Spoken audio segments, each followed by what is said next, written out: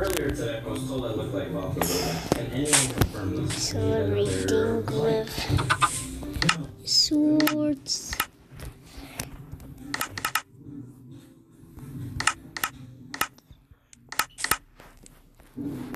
And the sword we found a towel bucket. Oh no.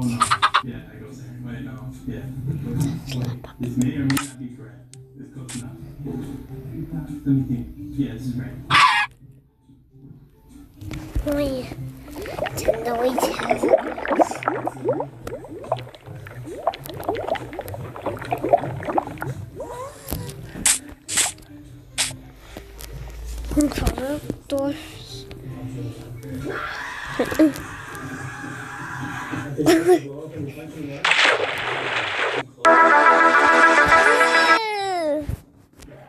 Cover doors.